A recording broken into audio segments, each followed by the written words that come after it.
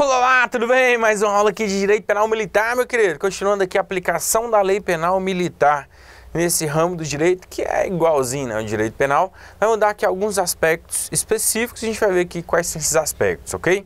Vamos lá então.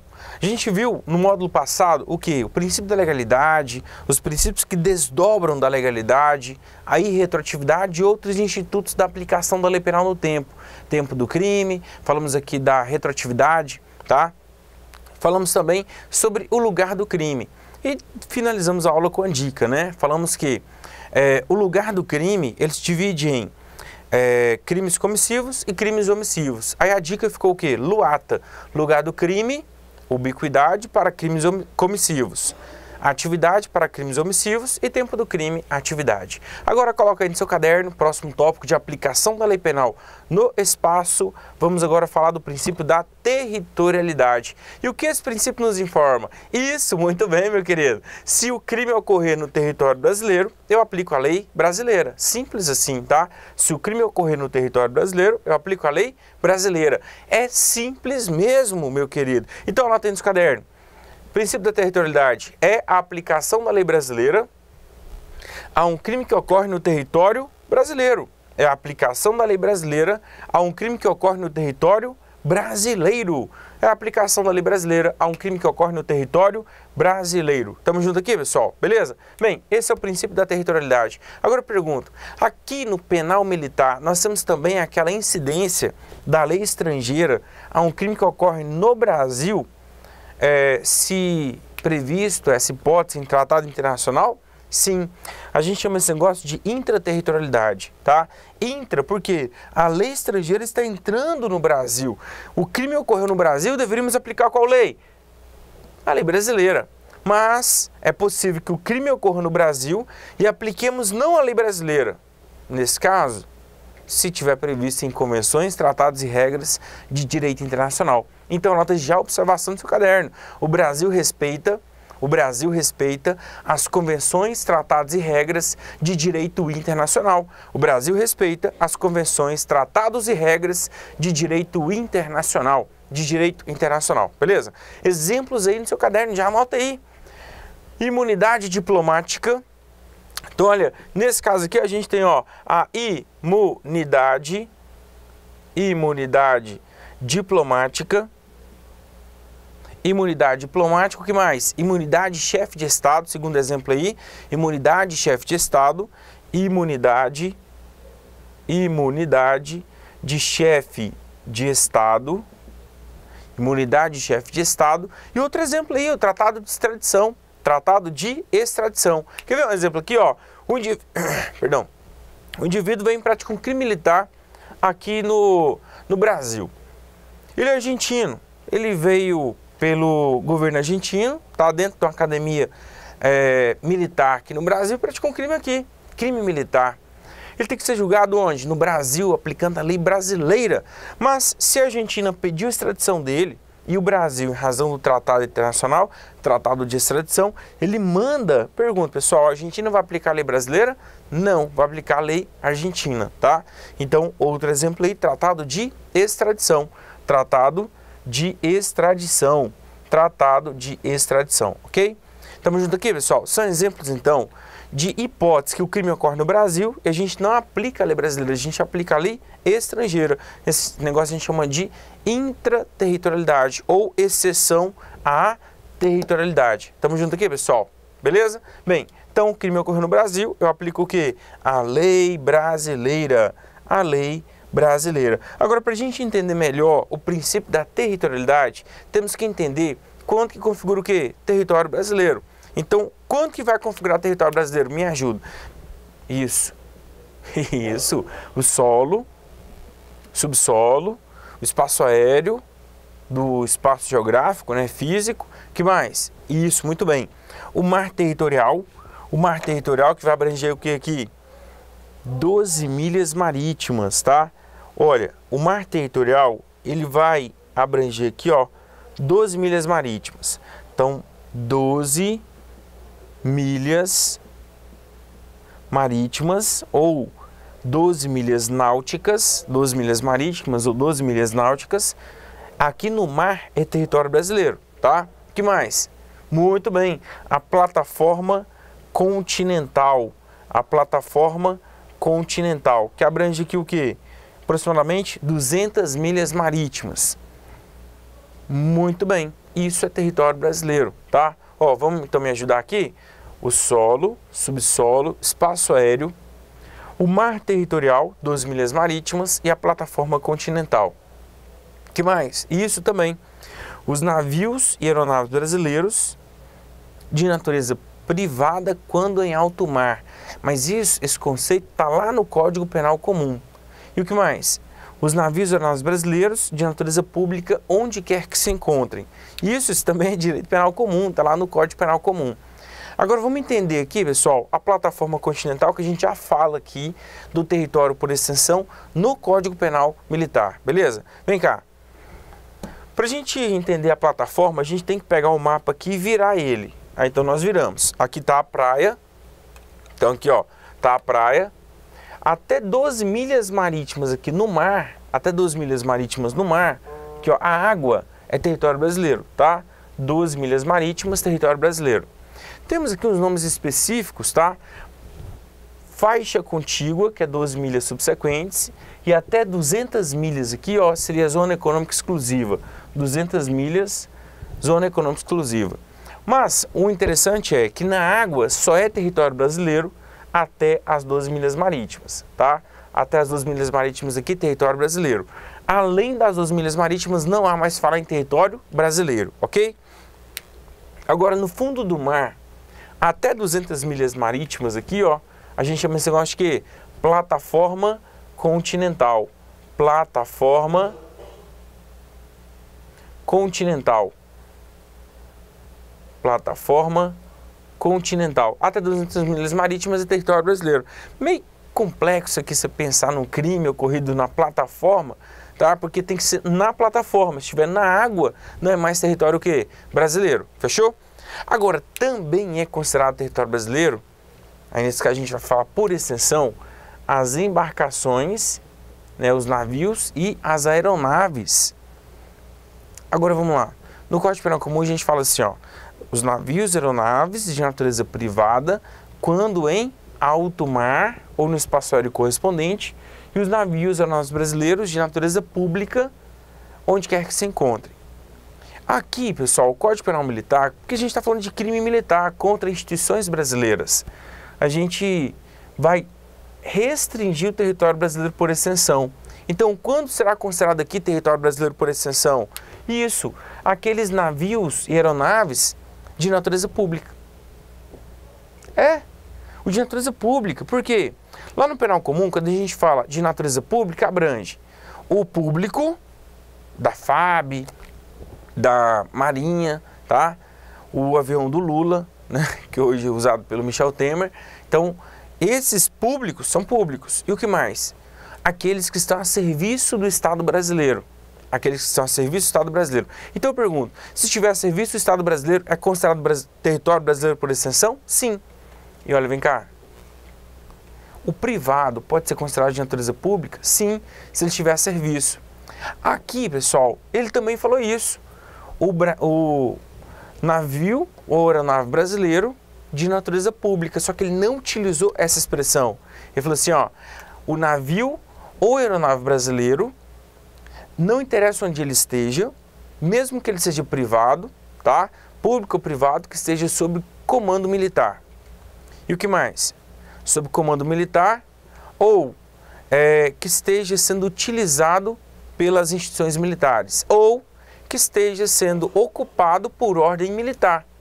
Nesses três casos, por ordem militar, utilizados pelas instituições militares ou sob comando militar, mesmo que ele seja privado, ele é considerado de natureza o quê? Pública, porque ele está a serviço do Estado brasileiro.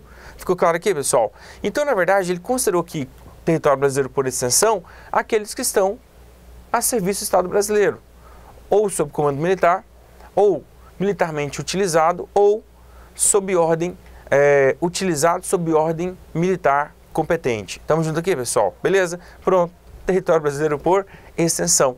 Na verdade, a gente restringiu aqui para falar aquele que está a serviço do Estado brasileiro. Fechou, pessoal? Pode ser público ou privado. Anota tanto caderninho. Considera-se, considera-se território brasileiro por extensão, considera-se território brasileiro por extensão os navios e as aeronaves, os navios e aeronaves. Considera-se território brasileiro por extensão. Os navios e aeronaves. Onde quer que se encontrem, os navios e aeronaves, onde quer que se encontrem, os navios e aeronaves, onde quer que se encontrem, que estejam sob comando militar, sob comando militar, sob comando militar, que estejam sob comando militar, vírgula, estejam militarmente militarmente utilizados utilizados militarmente utilizados ou utilizados em razão de ordem ou utilizados em razão de ordem militar competente em razão de ordem militar competente. Um exemplo aqui, uma requisição militar, requisição administrativa, né? Requisitou o navio, tá? Ou requisitou a aeronave, mesmo que seja privado, ele é considerado o quê? Território brasileiro por exceção e não interessa onde ele esteja, ou seja, ele está a serviço do Estado brasileiro. É como se ele fosse de natureza do quê? Pública, lá no conceito de território por exceção do Código Penal Comum. Fechou? Então, olha, o sob comando militar, militarmente utilizado, ou o utilizado sob ordem militar competente. Beleza aqui, pessoal? Não interessa onde ele esteja, considerado então território brasileiro por exceção. Agora eu pergunto, pessoal, o que significa navio? Muito bem, o Código Penal Militar trouxe para a gente o conceito de navio. Pode ser que ele caia para vocês. Anota então nos caderninhos. Considera-se navio considera-se navio qualquer embarcação, considera-se navio qualquer embarcação, considera-se navio qualquer embarcação, qualquer embarcação sob comando militar. Qualquer embarcação sob comando militar. Qualquer embarcação sob comando militar. Beleza aqui, pessoal? qualquer embarcação sob comando militar é considerado que navio. Pode ser uma jangada sob comando militar considerado navio? Sim, qualquer embarcação. Tamo junto aqui, pessoal? Beleza? Então, ele ampliou aqui o nosso conceito de navio, tá? Considerando qualquer embarcação como navio para considerar o território brasileiro por extensão. Tamo junto? Então, nós estudamos aqui o que é o território brasileiro. Agora, pessoal, também será considerado território brasileiro um navio estrangeiro que esteja sob, é, sob jurisdição brasileira, tá? Sob jurisdição é, da, das Forças Armadas Brasileiras, tá? Nesse caso, ele é considerado território também. Por quê? Porque está lá no território brasileiro, então é território brasileiro. Pronto, simples, né, pessoal? Agora a gente respeita os tratados, convenções e regras de direito internacional? Sim. Então a gente vai respeitar o quê? A, o navio e aeronave público estrangeiro. Por exemplo, um navio da Marinha Americana Nesse caso, ele pode estar aqui dentro do território brasileiro que a gente vai respeitar. Considera-se o quê? Território estrangeiro, tá? Temos aqui também um negócio chamado direito de passagem. Muita atenção, hein? Se o navio, ele vem, navio estrangeiro, ele vem de fora, mas em razão das correntes marítimas, ele precise passar dentro do território brasileiro aqui, mas ele não aportou em nenhum dos portos brasileiros, porque o objetivo dele era, por exemplo, chegar ao Uruguai, nesse caso é como se ele não tivesse passado dentro do território brasileiro, é o chamado direito de passagem, direito de passagem, ok? Bem, pessoal, vamos agora falar do princípio da extraterritorialidade. Já anota tantos cadernos aí, letra J, princípio da extraterritorialidade. Extraterritorialidade. Vem cá, olha, se territorialidade é a aplicação da lei brasileira a um crime que ocorre dentro do território brasileiro, o que é extraterritorialidade? Isso é a aplicação da lei brasileira a um crime que ocorre fora do território brasileiro. Anota então nos caderninhos. Extraterritorialidade é a aplicação da lei brasileira a um crime que ocorre fora do território brasileiro. É a aplicação da lei brasileira a um crime que ocorre fora do território brasileiro, fora do território brasileiro, extraterritorialidade. Beleza aqui? Agora eu pergunto, pessoal, lá no Código Penal Comum, a gente estuda extraterritorialidade condicionada e é, incondicionada. Aqui nós adotamos só uma espécie de extraterritorialidade. Qual? A incondicionada. Beleza? Anota então nos cadernos aí. Observação: se configurar crime militar, se configurar crime militar, se configurar crime militar, o Código Penal Militar adotou a extraterritorialidade incondicionada. Se configurar crime militar, o Código Penal Militar adotou a extraterritorialidade incondicionada. Se configurar crime militar, o Código Penal Militar adotou a extraterritorialidade incondicionada. Então, olha aqui, pessoal, a gente adotou qual extraterritorialidade? Muito bem, a incondicionada. Extraterritorialidade incondicionada. Agora eu pergunto, quando que será extraterritorialidade incondicionada? Muito bem, quando chover canivete, mesmo assim a gente aplicar a lei brasileira. Não interessa o que acontece, o que aconteça, vamos aplicar a lei brasileira a um crime que ocorreu lá fora, na Argentina, na Alemanha, no Japão, nos Estados Unidos. Se houve um crime militar, vamos aplicar o CPM, pronto, extraterritorialidade o quê? Incondicionada. Agora, quando que eu caracterizo a incondicionada? Muito bem, mesmo que o autor tenha sido é, absolvido ou condenado no estrangeiro, vamos aplicar a lei brasileira. Ah, professor, quer dizer que se ele foi absolvido lá, vamos aplicar a lei brasileira? Sim, porque ela é o quê? Incondicionada. Ah, mas ele já foi condenado lá, vai ser condenado aqui de novo? Sim. Tá, por quê? A gente adotou a extraterritorialidade incondicionada. Anota tantos cadernos aí. Extraterritorialidade incondicionada. Então, anota aí. Será incondicionada? Será incondicionada. Será incondicionada quando a lei brasileira será incondicionada quando a lei brasileira for aplicada. Será incondicionada quando a lei brasileira for aplicada, mesmo que o autor tenha sido absolvido, for aplicada, mesmo que o autor tenha sido absolvido ou condenado no estrangeiro, mesmo que o autor tenha sido absolvido ou condenado no estrangeiro, mesmo que o autor tenha sido absolvido ou condenado no estrangeiro, mesmo que o autor tenha sido absolvido ou condenado no estrangeiro, tá? O que precisa então de ocorrer para a gente aplicar a extraterritorialidade aqui? Muito bem, a prática de um crime militar a prática de um crime militar que a gente vai ver no próximo módulo, tá? Conceito então de crime militar, beleza? Agora vamos lá, pessoal.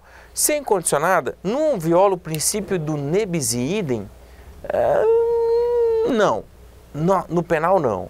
Pode ser que você visualize uma violação no processo, tá? Porque esse princípio, ele diz o que? Anota aí no seu caderno, pessoal.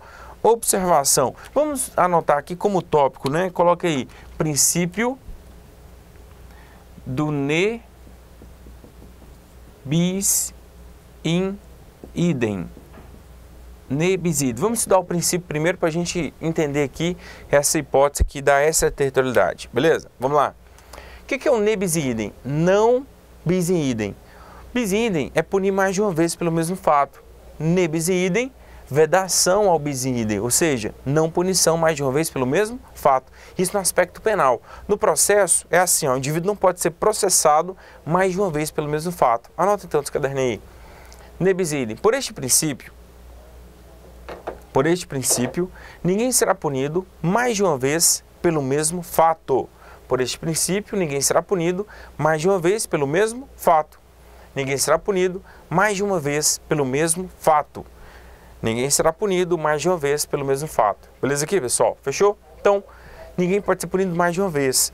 E por isso, pessoal, a gente vai agora falar da aplicação é, do artigo 8 aqui. Artigo 8 é lá no Código Penal Comum e aqui também, tá? Do artigo 8 para falar da sentença cumprida no estrangeiro, sentença estrangeira aqui, beleza? Vamos lá.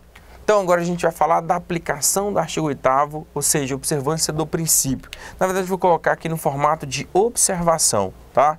Anota aí, observação do seu caderno. O artigo 8 do CPM, o artigo 8 do CPM, o artigo 8 do CPM,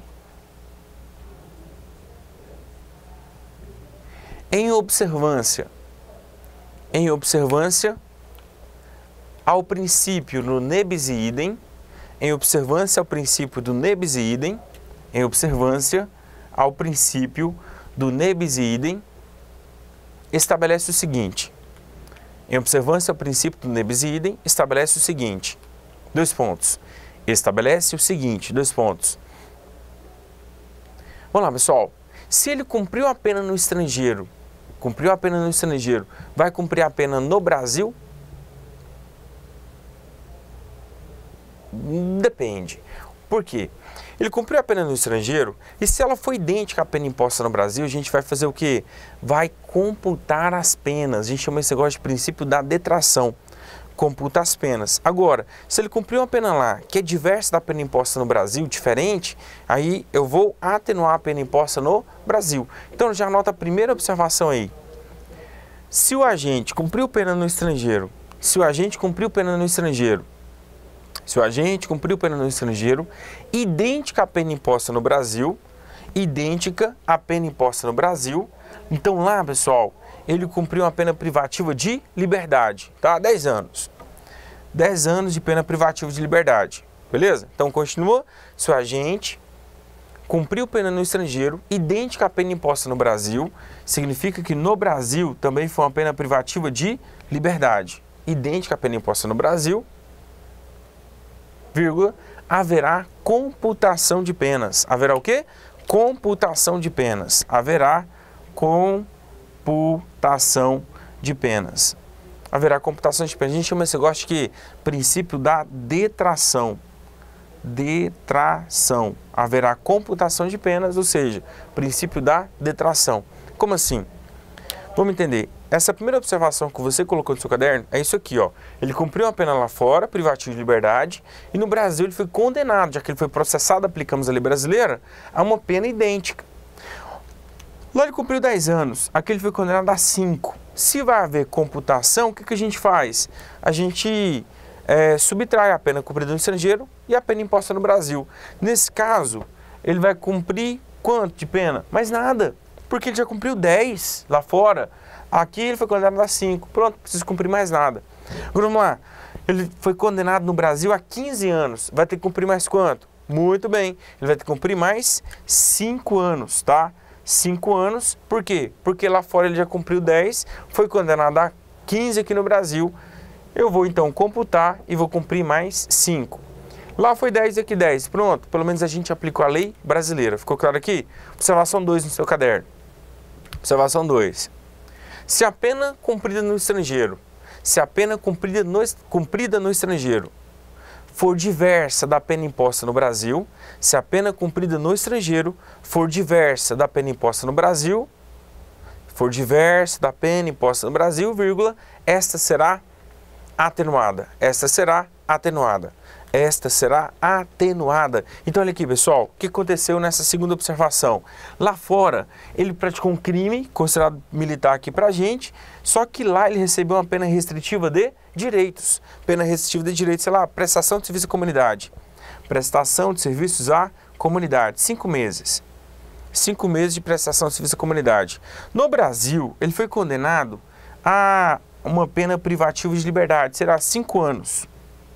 São idênticas? Não, são o quê? Diversas. Se são diversas, a gente vai fazer o quê? Vai atenuar a pena. Vamos então atenuar a pena. Vamos diminuir essa aqui um pouquinho. Atenuação é aplicada na segunda fase de, de aplicação de pena, né? Então vamos atenuar essa pena. Não vamos computar. Mesmo que seja aqui computável, né? Como são diversas, não há computação ao, ao que? Atenuação de penas. Beleza? Fechou? Tudo isso em observância ao, ao nebiside. O professor no processo, lamento, ele foi processado de novo porque vamos aplicar a lei brasileira. Beleza aqui, pessoal? Fechou? Bem, então recapitulando aqui, ó, a gente viu o princípio da territorialidade, se o crime ocorre no Brasil, aplicamos a lei brasileira. O que é o território brasileiro? Muito bem, mar territorial, plataforma continental, é, o solo, subsolo, espaço aéreo, do espaço geográfico, né, físico, e também considera-se que território brasileiro, por exceção, os navios aeronaves, tanto faz se público ou privado, se ele estiver militarmente ocupado, estiver é, militarmente utilizado sob comando militar ou ocupado é, mediante ordem militar competente, ele é considerado território brasileiro por exceção. Não interessa onde ele estiver, onde ele esteja, tá? E o conceito de navio, qualquer embarcação sob comando militar. Beleza aqui, pessoal? Falamos também da extraterritorialidade, que no Brasil é incondicionada, desde que seja o quê? Crime militar.